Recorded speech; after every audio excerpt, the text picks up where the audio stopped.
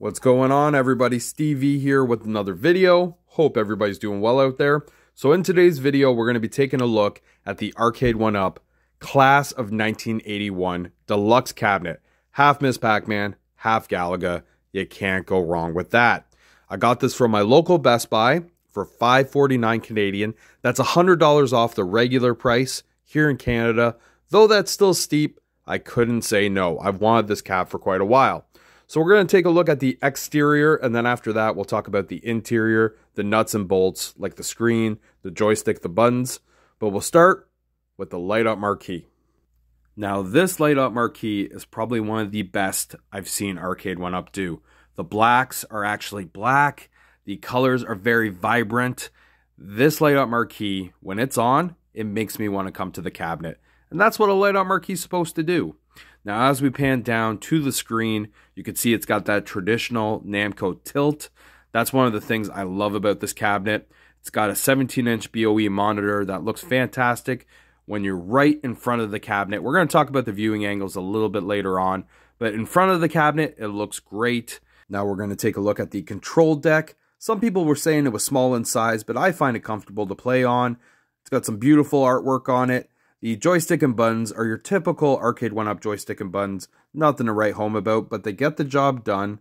We'll take a look at the speaker grills. A nice clean finish. I really like these speaker grills. It just makes the cabinet look more authentic and makes it feel like less of a toy. So now we're going to pan out, get a better look at the control deck and the monitor. Now we're going to take a look at the bottom half.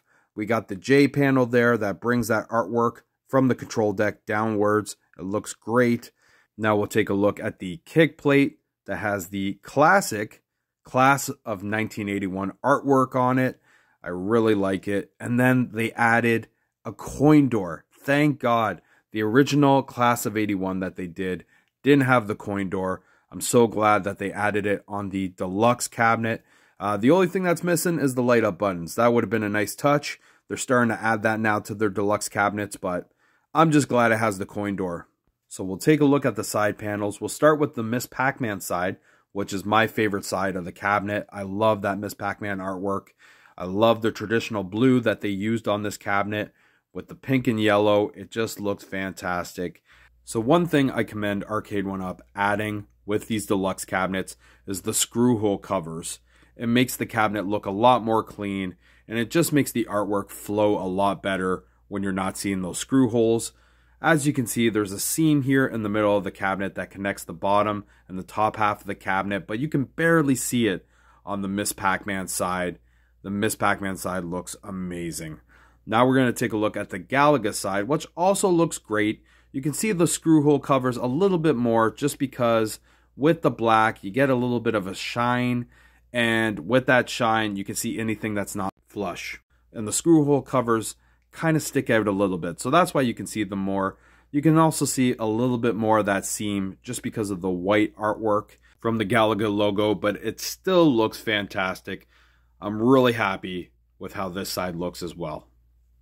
Now we'll take a look at the games on the cabinet. We have 12 Namco classics. We have Miss Pac-Man, Dig Dug, Dig Dug 2, Galaga, of course, Galaga 88, Galaxian, Mappy, Rally X, Rolling Thunder, Rompers, The Tower of Draga, I think I said that right, and King and Balloon. So now we'll take a look at some of the options you get for some of these games, like with Miss Pac-Man, you have the speed option, which is awesome. Difficulty, bonus. You can add lives. Dig Dug, you get a lot of the same with a few extras. It's nice having options with all these games.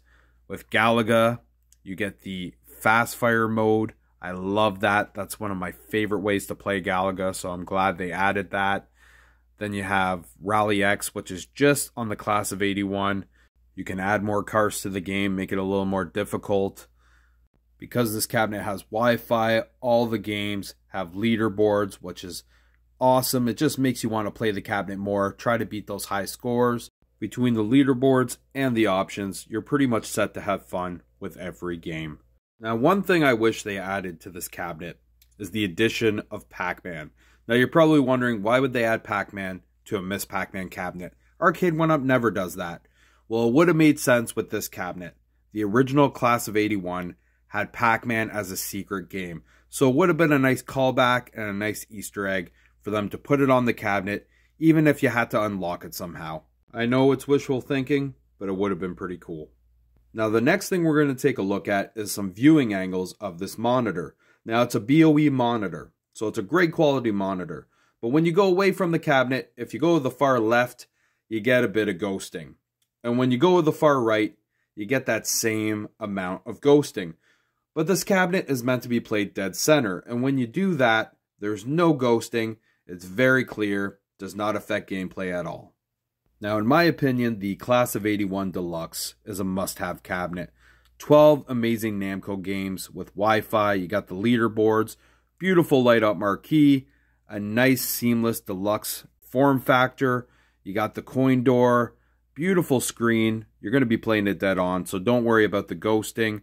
The volume can get quite high. I normally leave it at two or three.